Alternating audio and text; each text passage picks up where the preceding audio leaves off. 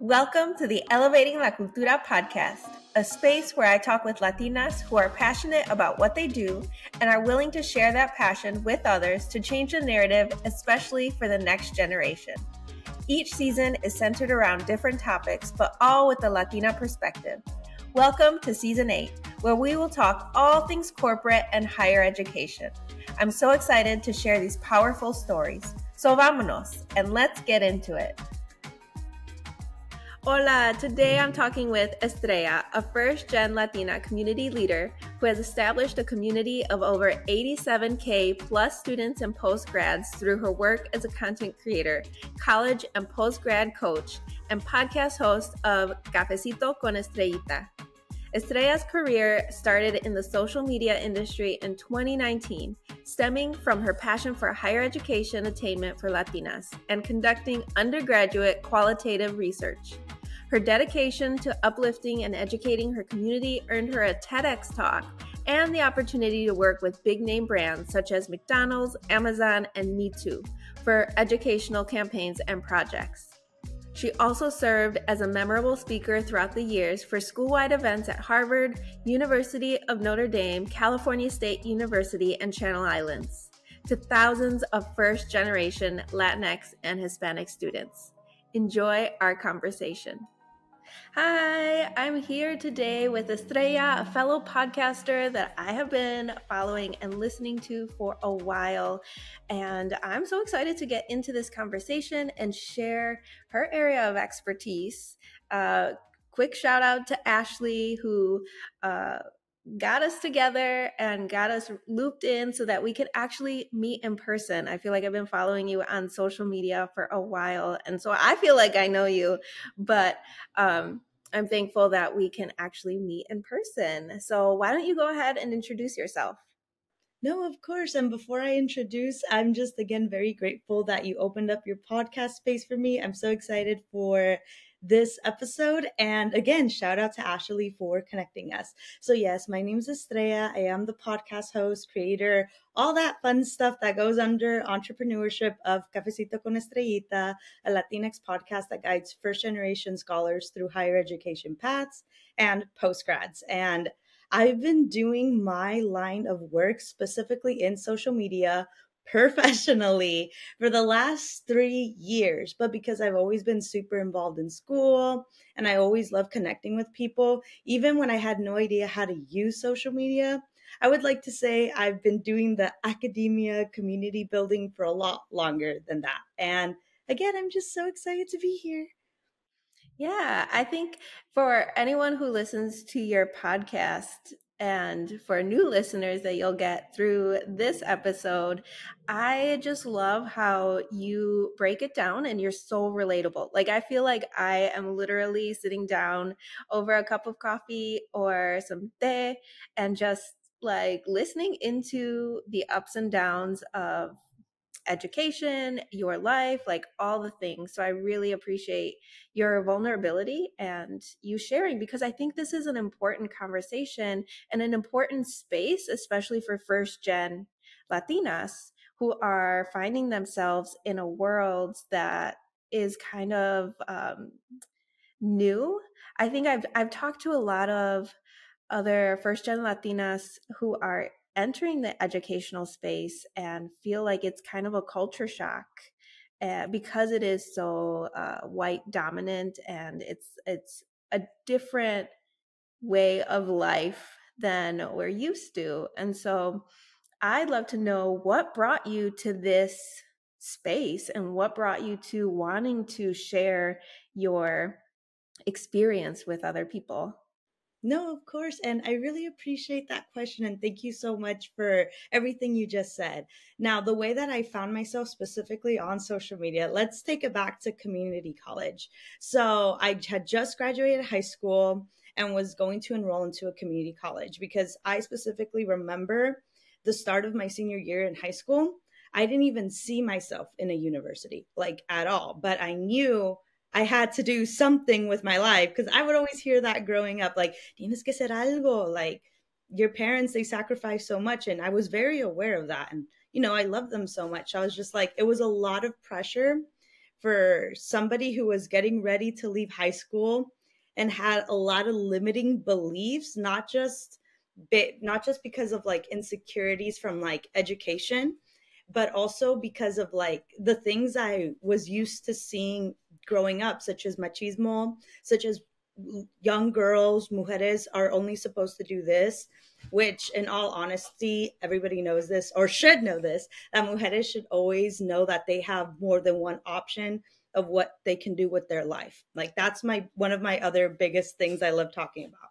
Now, continuing forward. So, high school is coming to an end and I applied to community college and I was like, okay, this is a start. I don't know how far this is going to take me, but we're going to figure it out.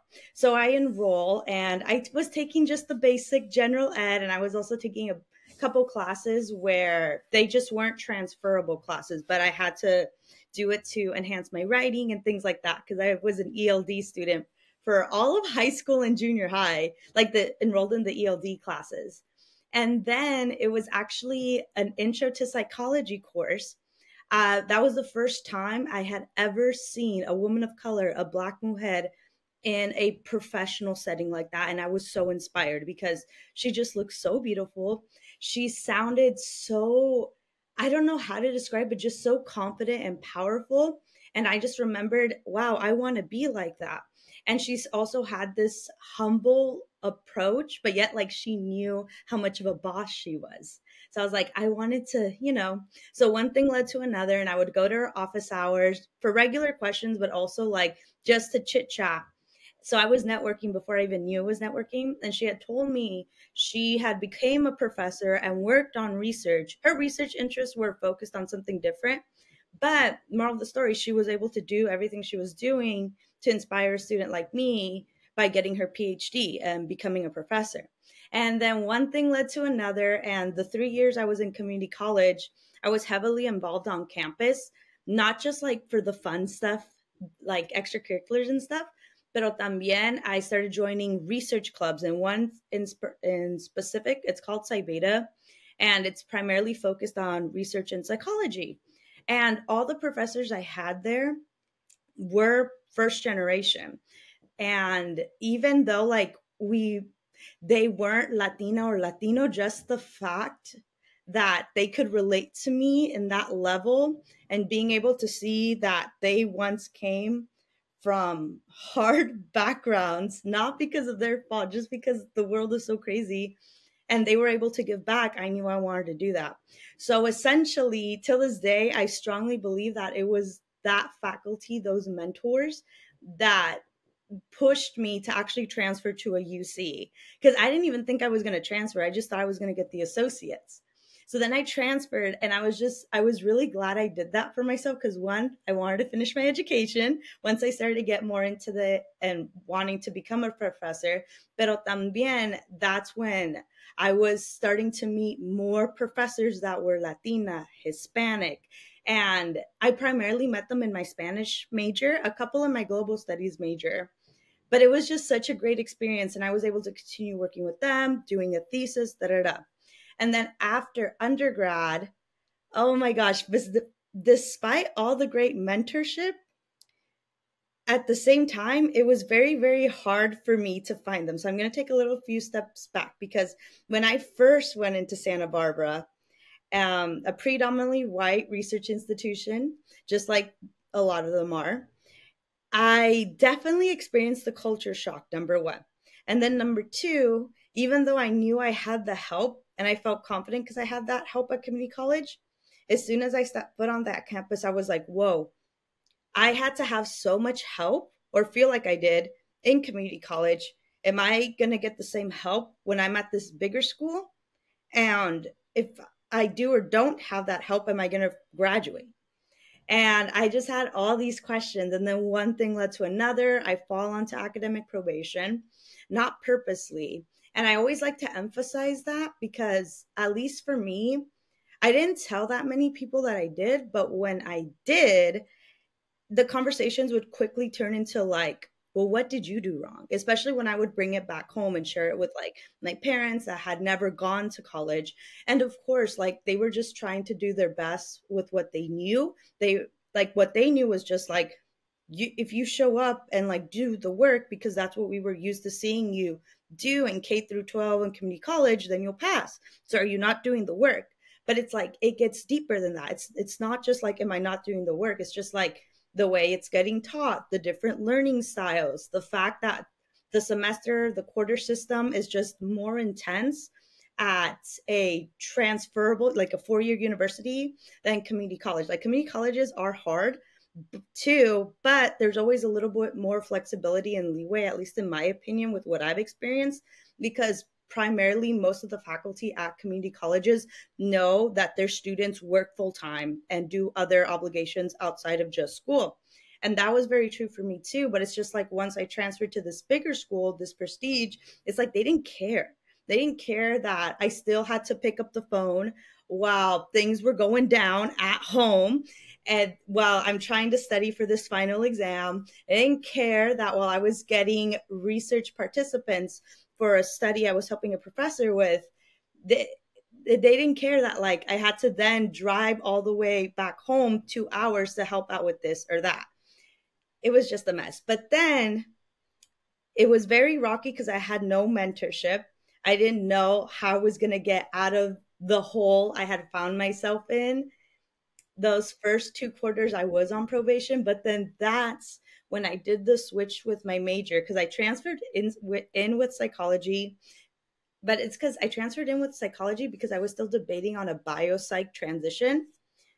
It's a whole other conversation itself.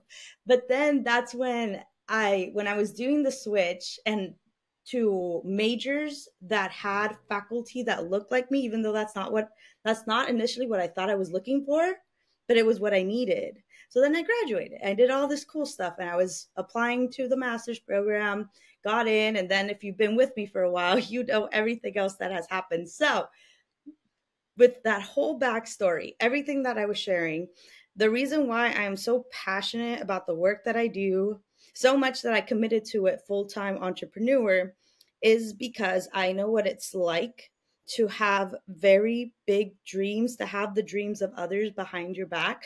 Because despite everything, you do love them and you want to honor them. You want to honor yourself. You want to honor those before you. Because it's so crazy to think that, like, my parents came from these little pueblitos, Villa Mendoza and Acuitzeramo in Michoacan, to then over here in the States, and go to like these big name schools like Santa Barbara, or even if it's not a big name school, just a university in itself in the US. It's such a huge thing. So, with all those pressures, just like I knew I want to do this, but how am I supposed to do it if I'm alone? I can't do it alone. It takes a village. So, one day when the pandemic hit, I was just like, well, I guess I can start that podcast. I guess I can construct that village and find a way to reach as many first gen Latine, Latinx students as I can, not just through podcast episodes, but on Instagram and TikTok, and just keep showing up as much as I can. While now we're here in the podcast. So I hope that answers the question. I'm sorry, I just get so passionate about this. No, that is um, very understandable and very relatable. I love to see the thread that has brought you to where you're at currently. Um, I'd love to know, or can you explain a little bit what academic probation means? No, of course. So, from the best of my ability, just kidding. No, so the the way I would define academic probation is you enter into your institution, right? Whether you're a freshman or an incoming transfer. And then you get pretty much a D or an F.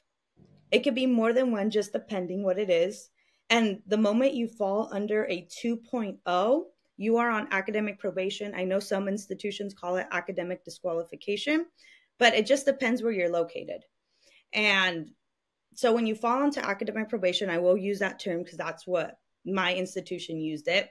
You are and essentially being watched by your institution where it's just like your academic record, your student record, your grades, they're they have the label on it where you're on academic probation. You have to make sure you get your GPA above a 2.0 before the end of the following quarter or there will be more consequences. So then, um, because I kept, I redid like my calculus classes and all those things the following quarter when it's just like I should have just switched it before. But you know, that that persistence of like, no, if I just do it one more time. But sometimes it's okay just to change. Like you don't have to like hurt yourself mentally if it's like if it's just not working out, you know? So then the second quarter came and even though I put in just as much work, maybe even a little more than the first quarter, it's still under that 2.0. So if it's under that 2.0 when you reach like that second warning, then they're like, okay, this is the last time. And if you don't get above that 2.0 or at least that 2.0, then we're going to have to give you your disqualification letter or however else they turn they um categorizes that and you will have to leave the university. And believe it or not, there's I was only able to find it for community college level students, but that's also because I did it through Google Scholar. There's other research databases at the universities that you can go a lot deeper. But I, I was reading that about 35% of incoming community college students fall on academic probation. So academic probation isn't just at like in like higher four year institutions, it also happens at the community college level. And then I was just like, whoa, if that percentage is there, I wonder how much more that percentage can be there when you're at a more, again, elite, prestigious four year university. So I hope I explained it well. It's, it can be scary. Like the word probation can be like jarring, especially if you're not used to that type of language in your education. And it's especially jarring for your parents, which you're trying to explain, like, oh no, well, I'm not like getting kicked out yet, but this is what is happening. And I know my parents would not like, they'd be like, like how you explained it like what is wrong with you? Why aren't you working hard enough? Why aren't you doing this? It should be easy because everyone has said that it's easy and so and so has gone through it and so and so has gone through it. Why is it harder for you without taking into consideration that the higher education system is built for people who are going into undergrad like right after college into their four year university and everything is kind of mapped out for them and they don't have the same lived experiences as other people of color and it's it's simpler for mm, I don't know. I want to be careful with the way that I say it because, like you said, for a Latina family, like we have expectations that it doesn't matter if you have responsibilities or a job or like homework, like your family calls you, like you're expected to pick up. And even now, like I am an adult, my own kids, married, and my father calls and I will drop everything and I'll pick up that phone to see what is wrong. And that is just not the case for families that are more traditionally American and here. And it's just like hard to explain that in a way that people will understand it at the level that they're telling us, like, oh, well, your academic career and your homework should be priority. When in reality, it is a priority, but so is family life. And so are all these other things like your job and and everything because everything needs to continue moving in order for you to keep moving forward and other people just don't have those same obstacles. Um, you mentioned that you were going through a lot of limiting beliefs as you were entering college like even community college how did you navigate those? And then how did that change as you entered uh, the university? No, of course. And I really appreciate you asking me this question. Disclaimer I'm very emotional, very sensitive. So if I start crying, it's okay. I can still, I'm still, how's the word? I'm still, I'm a person that when I cry, I can, I'm still understood, if you know what I mean. Like it doesn't get too crazy. But oh my gosh, it's so funny that you asked that too. Funny in a good way because now that I'm 28 and I'm like in a different chapter in my life because I, I talk about this a lot on socials, but I have been in academia for the last 10 years. And that's all I knew for 10 years. So, as much as like I know I tried my best with figuring out who I was as a person while in school, figuring out, I knew I tried my best, but I never ever actually gave myself like how I am now that I would say proper grace period to like really know me. And there's a part of me that's just like, dang it, I probably should have taken that gap year after my bachelor's before starting my master's at Fullerton. So then I can just like figure out more things about me because it's not always about a career. I know for like a lot of us, and I'm speaking on my experience, for me, it was always like career, do this, do that, because like I grew up poor, low income. I spent the first five years of my life in Santa Ana. I, my gosh, like even though like, you know, I, I will always have a good place in my heart for Santa Ana, California. But you know, it's it's not really known as like the safest. But yeah, and then we moved to Anaheim, but it was just so crazy. So, anyways, let me just take a step back. So, how did I navigate these limiting beliefs? And to be honest, I was just trying the best with the knowledge I knew because I was expected to get this college degree, right? And in the US education system. But while I was expected to do that, I was also expected to get good money, but make sure you eventually get married and have kids. Okay. And, but when you get married and have kids too, make sure that like you don't work for too long, you don't get this much money or anything like that. Because the man always has to be a provider. And don't get me wrong, I love me a man that can be a provider. I feel like the husband and the wife, when they come together, they can be such a strong team, you know, because we all got, we can all work together as a team. But it's just like, at least the way it was being spoken to me was just like, it doesn't matter how much you work, Estrella, you're still a mujer and you have a timeline for how long you can be a badass career woman because you still have to like get married and things like that. And don't get me wrong, I was a girly that like my wedding, I was dreaming of that when I was five years old. I've always been a very romantic like that. Like I, I always say this once in a while when I get asked when I was in I specifically remember first or second grade, my teacher had asked me what career do you want when you grow up? And I said, "Oh, I want to be a mom with kids." And then she's like, "That's not a career." I was like, "But I like like, you know, so all that stuff. So as I got older, it's just like I'm doing all these cool things like research.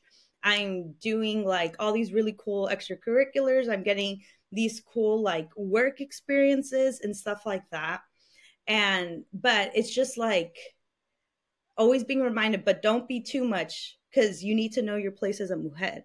But it's just like that probably worked during a different time but here in this individualistic society of the US, it's not really it's it's not really a thing. It's very there are just so many different pathways that you can take as a mujer, whether you want to get married, whether you want to just live on your own and be this super badass career woman and build an empire. So many different avenues. And that is more than okay. But I always grew up super confused about that until the last two years because I just, I would always just hear very misguided consejos, especially because like I would hear that from my house. But then when I would be at school and I would see like how I told you that really awesome professor in my psych one class walking in with her nice Louis Vuitton and things like that and teaching us in such an inspiring way. And she lives on her own. She's not married because you know she would share with us. And then I'm like, where do I go? What's right for me? I don't know. And then when I would explain how these cool other mujeres were leading with their careers and their lives to like my loved ones, I don't know. I wouldn't, they would just like look at me in a way, you know? But I'm really glad. I will say this I'm really glad that, like, even though I was lost a lot, I didn't always know where I was going. I'm just glad that I never limited myself with the different options I can take because now I found myself in a position where like I'm doing what I love, which is essentially being a social uh, not social media. Let me rephrase that. Being a higher education advocate and running my social media business primarily with, again, advocating for higher education attainment for Latinas, first gen. But it's like I wouldn't have been able to find myself here or even have the confidence to do this full time because it's so scary. Like two weeks ago, I was crying because I had to switch banks. Like I've never had like I've had the same bank forever, but like then I had to switch because now I'm a business. And I just, the best advice I can give you, because it's super, super, like, I know how hard it is to like learn, to unlearn. You're trying to do this and that. Just don't limit yourself. Take it one day at a time. If something interests you, try it out if you can and just take it day by day because you never know where you're going to find yourself 10 years from now. Because I can tell you this, I never thought it would be this for me. I know there are jobs now that are available and thriving that weren't a thing like 10 years ago. And it's so fun to watch and to think like, oh, well, I wonder what the next 10 years will bring. But a lot of us first gen Latinas are um, we're not only learning how to navigate a world that is new to us, but we're also trying to teach and educate our parents and the generation before us to like understand that the mindsets and the ways of thinking that they grew up with were serving them for that period of time but they're so different for our generation and not just our generation but our generation in the US so, how have those conversations been for you when you're trying to help your parents understand, like, okay, well, this is the next step and it's going to look differently, or like, I'm not looking for that simple, easy life? Um, how do you explain, like, what you do through social media? Um, yeah, how do you how do you have those conversations with your your family? No, of course. And I really appreciate you asking this. And I'm going to give it 100% real because I feel like it's me just sharing my experience as a first gen Latina is more realistic than like, you know, the cookie cutter answer. But it's it's been a challenge. It's a learning process for all of us, including myself, you know, because at the same time, I don't want to let all like the good traditions that I love from my culture die away just because we're in the US. So it's like a it's a day by day, month by month process. But to be a hundred percent transparent, when I started social media, so I was making the transition because I I put a pause on my master's for a bunch of family stuff, so I had to move up to Modesto, but I didn't want to give up on school. So, but the university I was going at, they didn't have a lot of master's options. So I ended up picking up the teaching credential because I was like, well, I'm good at teaching. Let me do this for a little while. And then it'll help with my overall GPA when I apply to a PhD type of stuff. Anyways, and so when I was up there in Modesto, moved away from home, I was gone for about four years. Like, yes, I was gone in Santa Barbara when I was in Santa Barbara, but the difference was was Santa Barbara was like a lot closer. And then during that time, my mindset was more like really pleasing everybody type of thing. You know, all my loved ones cosas así. But with all the hardships that happened during that time frame that I was in my master's and transitioning to a teaching credential, so many things happened where it just like it opened my eyes enough. So I was 25 at the time. It opened my eyes enough to be like, okay, you can still love and think about them and answer the phone, but just do it less. Even if you feel like a villain, okay? Just do it less for yourself. So then that's what I did. And being now six hours away definitely helped do that a lot more, which again, I never in a million years thought I'd be in a position like that. So being alone for so long, and yeah, I had school to keep me busy. Yes, I was working, but I still was just like, what can I do with my time? Because it's like, we're also in a pandemic, by the way. And it's like, what do I do? I don't know what to do. Well, again, I guess I'll start that podcast because of all these different initiatives y cosas así that I talked about in the beginning. So I started doing the podcast and then when then my family they were following me and things like that. Wasn't a big deal or anything. And it was actually pretty cute, you know? But I know during that time they just thought, oh, it's just a little hobby that'll like it'll have its the the doors will close eventually you know because sometimes people just need that creative outlet. Like not everything has to turn into a full-time business you know but sometimes people again need that creative outlet. But then one thing led to another and i'm just like making the podcast doing the social media in school cosas así. And i my business my social media would have never been able to grow the way it did if I didn't leave my parents' house. Because one, a lot of the distractions, they're not like horrible distractions, but it's like, again, dropping everything to go do this and that.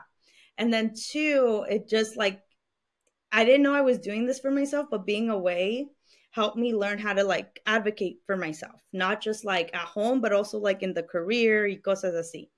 So then when I was getting ready to move back with my home with my parents, I was just like, okay, my parents, I don't know how I'm going to explain to them that I'm going to pursue social media full time. But one thing I do know about my parents, even though I'm figuring out the right terminology to tell them about this, is that my whole life they'd always say actions over words. That's their biggest thing. It's like mm-hmm. I, especially because I talk a lot. So I think that's why they would tell me that a lot because I talk a lot. So they'll be like, Dad, that's nice, Estrella, but like, what are you getting out of it? What's the outcome? Are you making something out of this? And because even though I was like learning to be more independent and even though I was so far away from them, one of the few things that did stick in my mind, even though I wasn't like seeing them so frequently as before, was them like what is this like what what are you going to show us we only like actions we only like actions so in my head i'm like okay so actions from what i know about my parents is seeing that others believe in this work. So, how are others going to believe in this work? If they feel validated, if they feel a community. So, in order to help my people, I need to also help my parents in their way see and understand what I'm doing and how impactful it is. So, this was never my intention. But when I moved back home, I had already, so with all my social media platforms combined, I have about 90K of a following, like with all of them combined, and with the TEDx talk it if it wasn't for that TEDx talk and my following, I feel like the conversations could have gone a different way. And it's not easy. Like I I did lovingly sacrifice a lot to be here, but I also wouldn't have changed it in any other way because it's like this work also saved me. You know, it helped me like learn more about myself, even though I still had so much to do and it also helped me not feel so alone when I felt alone so much. And then when I officially moved back home, well, first of all, I told my parents, okay, I'm going to be an entrepreneur. And they're like, what's that? Which, like, it makes me laugh because if you really think about it, most of our immigrant parents have always been entrepreneurs. They just like, they do it like really on the side. It's just like for that extra money, like the little things, you know? And then I was just like, okay, so how can I explain this? And I was like, okay, that podcast, da da da. And then finally, I was just like, okay, so I work on social media. So think of an influencer that is trying to do more than like influence with commercials. And they're like, okay. And now we're like, I think we're three months into me being full time entrepreneur at the house. They're more like, they they they just let me be. They still don't get it but they they don't disturb me when i'm working. And that's the best thing i can ask for because like i know for them being on the computer it can look like games but because they've seen my progress they're like okay. So yeah i guess the best way i could say it is just like just keep doing you. The end result it's not easy but the end result will be all that they need to be like okay I think it's super relatable to have parents, well, to be doing something for so long and then parents still don't actually like 100% get what you're doing. And um, yeah, I'm sure that many, many people can relate. How was the experience of doing a TEDx talk? And like, did you get the opportunity uh, through someone else or did you seek that opportunity out?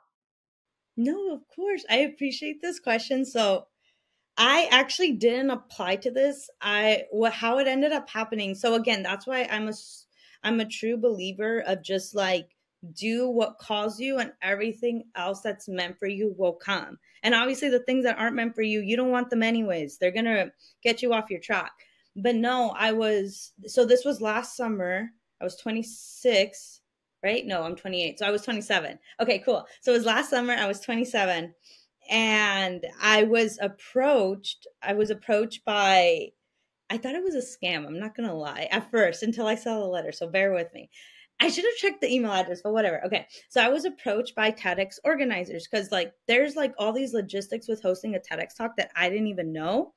But essentially, there's people that can get, they can apply, and if they get everything they need, they can earn the license to be a TEDx organizer and they can host their own TEDx events. So these TEDx organizers, they came across my social media and they reached out via email and they introduced themselves, da da da and then they were like, We really, really love your work. Have you ever thought of doing a TEDx talk?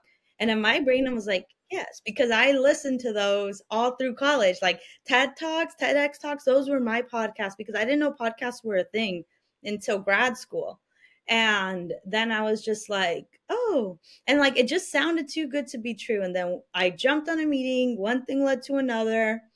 And then once they dealt with all their logistics, not dealt in a bad way, it's just like it was a lot, you know, where they got the location, they did this and that. They sent me an acceptance letter, like, hey, like not an acceptance, an invitation letter that we want you here.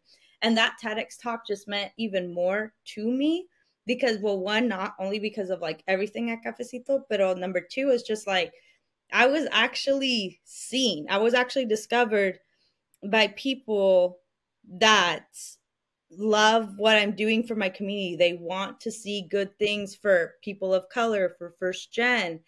And ah, that's why like prepping for that TEDx talk was probably one of the hardest things I had ever done because I was also applying to PhD programs at the time and everybody knows this or if you don't it's okay. I'm just like I, am an academic nerd sometimes. But, anyways, no, even applying to a PhD program takes a village. So, I had my little village for my PhD. Then I had my village for my TEDx talk. But it was funny because while I was prepping for my TEDx talk, my village was myself and my older sister. But that was like more than enough, you know, because nobody knows any of this. We're like, okay. So, it was a lot like, and then when it was all over, I look back and I'm like, how the heck did I put myself through all of that mentally? Like, I mean, it was good because I was doing good things, applying to PhD programs, doing a TEDx talk, but it was so like, it was so mentally like, like it was a, it's, it was like a whirlwind. I don't want to say it was good. I want to say it was bad, but it really tested me a lot emotionally and what I can handle, you know? And I'm like, I'm definitely taking it a lot easier. I'll tell you that but yeah, so I hope that answered the question. Yeah. How did you during all of these like transitions and hard times did you find the time to like ground yourself uh, or did you or like what was that that process is there like a specific thing that you've gone back to every time to kind of get you back into the right headspace no, of course. And thank you for asking that question. Ah, I like I said, one thing I do wish I could have done differently, but it's just it was just such a hard different time cuz it's like cuz I was navigating, okay, you need to be a bad like boss, all that good stuff, a baddie for this TED Talk, but you also you're writing your PhD apps and statement of intents, asking for these letters, meeting with faculty. So you need to like be a boss but still be humble about it because you need them to like let you in type of thing. So it was probably one of the hardest things I ever did for myself mentally. So I'm not going to lie, it took me like two months to recover mentally after the TED talk and after um, the announcements with the apps, you know? So I was just with my PhD apps. But, anyways, prior to that, what really helped me stay grounded during that heavy time of I'm going to say November to January because it was nonstop then, like very nonstop.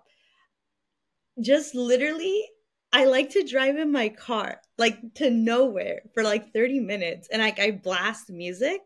It's just so nice. And I'm just like, ooh, especially back then when I was living in Modesto because it's a lot of country out there. So there were certain paths where there's no stoplight. So it's just like a straight drive. And there's only like maybe four stoplights like every 10 minutes. So you're just like, whoo, whoo. And I'm not talking about like in the city, it's like the outskirts of like that county. So I would do that. And then afterwards, like I would just like park and I would talk to like Diosito and like ask him like you know, and I would just think a lot about my life. I would think a lot about like my loved ones that are still here, that aren't here anymore. And I would like to say, like, even if you don't pray, meditating, as long as you are being and connected with you and whatever brings you peace, that's the best thing I feel you can do for yourself when you're going through such heavy transitions that are not only good for your life, but also good for your career. Mm, that's beautiful. Thank, Thank you, you for sharing. I know that like that time period is so chaotic like in general because it's like the holidays and we are just getting into Q4. So are there any big goals that you have this year? So, as many of you know, I have been in conversations about writing a book. I've been doing the networking to get the contacts of agents, and I have this amazing book mentor. Shout out to Ashley, also slash biz mentor. So, not only am I working on that, but I have officially launched my college and post grad coaching. I've always had it on the side, but I've never have had it full time like I'm doing right now which I'm just so grateful. Not like I'm grateful for not only the life that I've built for myself right now, even though I'm still figuring it out, but also for all of you that have helped me get into this position where I can be a support to students, to postgrads, whether it's through managing the different challenges we had gone through with like limiting beliefs, academic probation, knowledge of graduate school, cosas así. And also for the postgrads where it's just like, okay, I graduated now what? And it's like, okay, now what? And I'm still making podcast episodes. So, with my podcast, I always want to give back to the next generation or give forward to the next generation. So, what advice or encouragement would you have for those who are trying to decide if they want to continue with their higher education? No, of course. And 100% transparent is literally what I just told myself like if you can take a gap year. Maybe if you only need gap months. The reason why i feel like i needed a gap year is because i'm somebody where first i'm in denial. So i'm in, in denial about a bunch of stuff for at least three months. I know that sounds bad but bear with me. And then for me reality kicks in. I'm like okay now i can fully analyze my options with a clear mind. But if you're not like that if you process things sooner then that gap six months may be enough for you so if I could just like put it all together, is like make sure you give yourself intentional breaks. I know it can feel very challenging because we want to do so much, not just for ourselves, not just for our families, but also for the future generations, whatever that may look like with cycle breaking, with career growth, with growing generational wealth, toda esa cosa but it's like those intentional breaks are so important very very important. And if there's any way that you can spend time with like being on your own whether you move away for school or whether you study abroad or you can actually move out do that for yourself too. Like it's really hard but it's good because it's like you can see what you're like fully capable of. And then look at me. I still ended up moving back home with my parents but it's okay you know yeah. Man, this has been an amazing conversation. I'm so thankful for this time with you. For anyone who wants to connect with you, where's the best place that they can find you? No, of course. So, as always, feel free to subscribe and share Cafecito con Estrellita on any platform that you use to listen to your podcast. She's not on YouTube yet, but just give me some patience with that. And then on Instagram, TikTok, Cafecito con Estrellita, and then my website. If you go straight to cafecitoconestrellita.com, you'll find everything there. Oh my gosh. Thank you so much. This has been amazing. I am so thankful for your time and you like are just so relatable. Like I said, I feel like I know you because I've been listening to your podcast and you are like the real deal. So thank you so much and I hope that we can meet in person soon. I agree a hundred percent. And thank you again for opening the space for me. I really, really appreciate it. All right. Well, let's plan a time for me to either come to your side of the country or you to come to the Midwest and we'll meet in person. All right. Thank you so much and we'll talk soon. Bye. Oh my goodness. Estrella is so kind and I'm so grateful to her sharing her story. Definitely give her a follow and share her info with a young adult in your life that's on their education journey. For more information on Estrella and to see press features, articles, etc., go to cafecitoconestrellita.com. Okay, amigos, thank you so much for listening. There'll be a new episode every Tuesday, so after you listen, feel free to take a screenshot, post on Instagram, and tag at Elevating La Cultura, or send me a DM. You can also comment on this YouTube video if you're watching online. I always like to hear from people and how they resonate with the stories that I share. So, leave a review on Apple Podcasts so we can get more ears listening to these stories and we can continue elevating la cultura. All right, enjoy the rest of your day, afternoon, evening, whenever you're listening, y nos vemos next week. Adios.